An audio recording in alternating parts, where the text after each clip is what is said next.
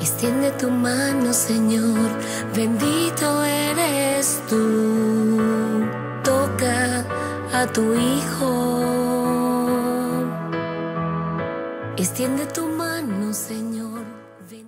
Bienvenidos queridos amigos a este tu programa Minutos de Sanación. Qué alegría una vez más poder llegar a tu casa, ¿verdad que sí, mi amor? Amén. Hoy, eh, queridos hermanos, tenemos un programa que le hemos titulado. Dios está con nosotros. Por eso vamos a pedirle al Espíritu Santo que nos ayude a discernir lo que vamos a predicar, lo que tú vas a escuchar. Recuerda que la fe entra por el oído y en estos tiempos, más que nunca, nos hace falta fortalecer la fe que tú tienes. Tú tienes fe, pero Dios necesita fortalecerla. Así que vamos a pedirle al Espíritu Santo, ven Espíritu de Dios, derrama tu poder divino sobre nuestros hermanos que nos están viendo en este momento. Ayúdanos, Señor, a discernir y danos el entusiasmo que has resucitado. Estás vivo y ven a entusiasmar nuestra vida, Señor. Tú nos has dado un propósito importante porque somos importantes para ti. Ayúdanos, Espíritu Santo de Dios. Bendice nuestro caminar, bendice nuestra alma, nuestro corazón. Ayúdanos, Espíritu Santo.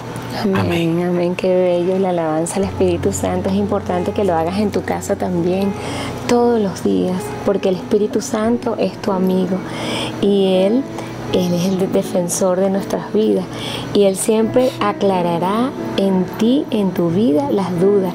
Es más, el Espíritu Santo te hace ver la verdad. Amén. Amén.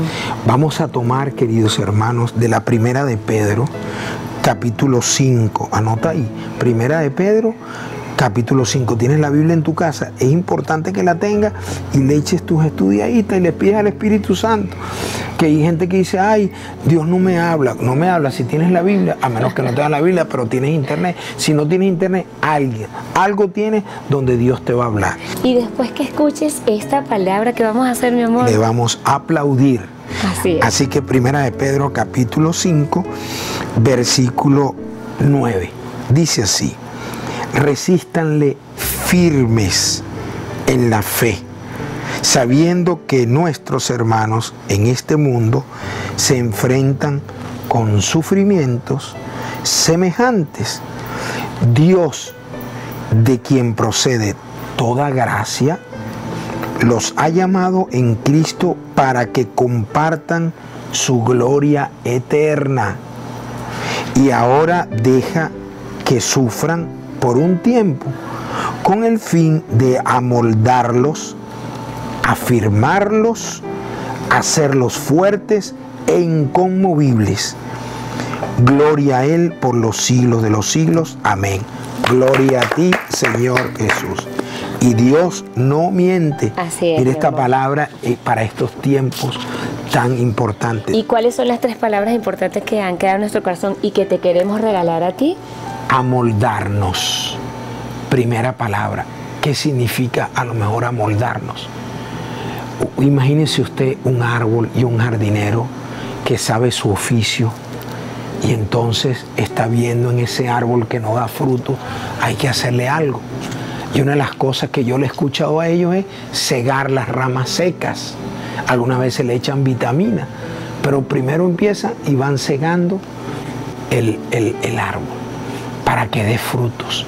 Entonces el Señor a través de un sufrimiento, a través de algo que te pueda estar ocurriendo en este momento pasando, es porque Dios necesita también amoldarte. Es cuestión de nosotros que abramos el corazón y aceptar cualquier cosa que pueda pasar en nuestra vida, que no es fácil, pero la palabra de Dios dice, o lo acabas de leer, o lo acabamos de escuchar, mejor dicho, y tú lo vas a leer en tu casa y lo vas a meditar con más tiempo y con más profundidad, donde dice que viene a moldarnos, es decir, a cegar cosas que hay en nuestras vidas. Y lo hace muchas veces y lo permite a través del sufrimiento. Entonces, lo primero, para que también sigas dando fruto, y si no los has dado, es. el sufrimiento no es gratuito. Vio la vida de, de San Juan Pablo II, la vida de Santa Rita de Casia, de todos esos santos que sufrieron tanto, hermanos. Así que eso que le sucede a mucha gente y que te ha sucedido a ti, que nos ha sucedido a nosotros, es para el Señor amoldarnos. Y el Señor hizo de nosotros su mejor jarrón, como lo dice esa primera palabra, y también lo quiere hacer contigo. A través de un sufrimiento yo llegué a Dios, mi amor. Sí. A través de un gran dolor y le agradezco a Dios, aunque no quiero, uno puede decir, yo no quiero un dolor, pero a mí me llegó la hora encontrarme con mi Señor, de que yo respondiera a su llamado a través de un gran dolor que fue, como todos ustedes saben, este, la muerte de mi madre cuando le dio el derrame cerebral. La segunda palabra, mi amor, dila tú.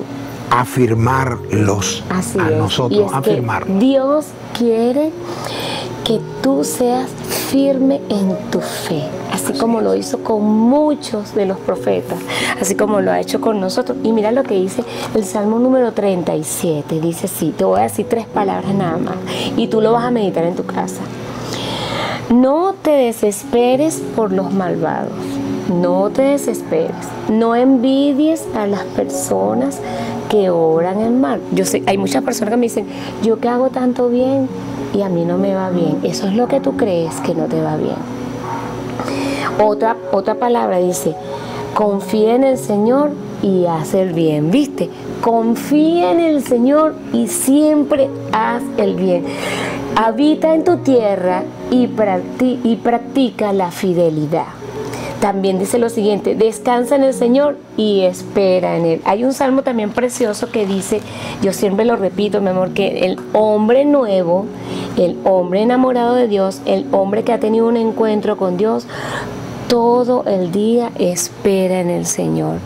Y esa es la segunda palabra que te queremos regalar, que es Afirmar afirmarlo, tu fe. porque el Señor quiere que en este tiempo de cuarentena y nosotros no queremos hacer un acto de magia contigo, no. Queremos que tú tengas un encuentro con el Dios verdadero, con el Dios que ha resucitado, con el Jesús que salió de la tumba y allí no hay nada, está vacía.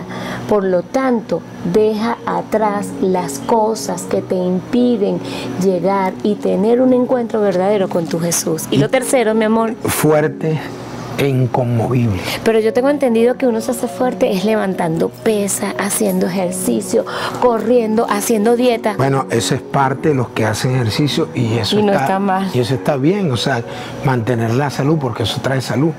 Pero cuando hablamos de salud espiritual, nos referimos a esto en este momento, inconmovibles, hacernos fuertes en la fe. Hay pasos por los cuales uno pasa en la vida. Yo en estos días estuve viendo en este canal, yo conocía la vida de Santa Rita no en su plenitud, pero aquí en este canal pasaron la película de Santa Rita de Casia y a mí me conmovió mucho su vida.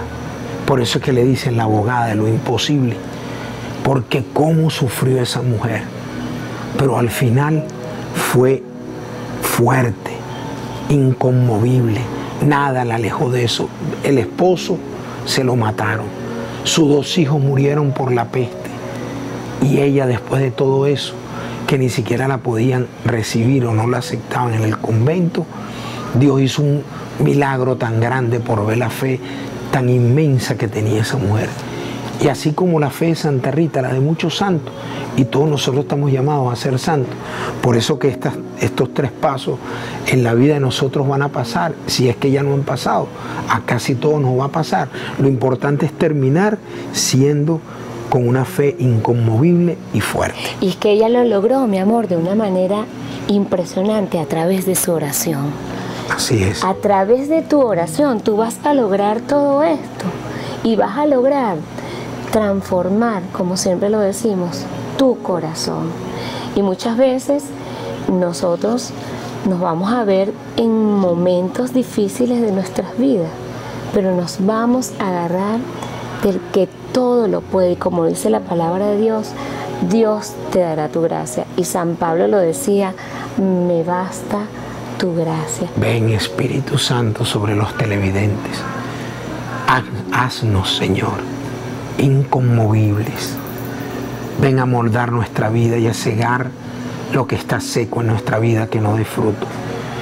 Ven, Dios mío, a afirmar nuestra fe. Ven con la fuerza de tu Espíritu y por la intercesión de nuestra Madre, la Virgen María, que su fe fue inconmovible, digna de admirar. Y la de muchos santos, ayúdanos a estar firmes e inconmovibles en la fe. Gracias Señor y gracias, por sanarnos. Cualquier enfermedad, pónsela en este momento al Señor, a cualquier familiar que tenga, pónsela en este momento, en este momento de oración. Ven, Señor, a destruir todo poder de enfermedad. Santo eres Madre, abrázanos, bendícenos. Amén. Amén. El Señor nos guarde, nos bendiga, haga resplandecer su rostro sobre nosotros, nos conceda su paz y su bendición y recibimos la bendición de los corazones unidos de Jesús, de Mamá María y de San José, en el nombre del Padre, del Hijo y del Espíritu Santo. Amén. Contento, Señor, contento. Y recuerda que sin Jesús no hay futuro. Dios te bendiga.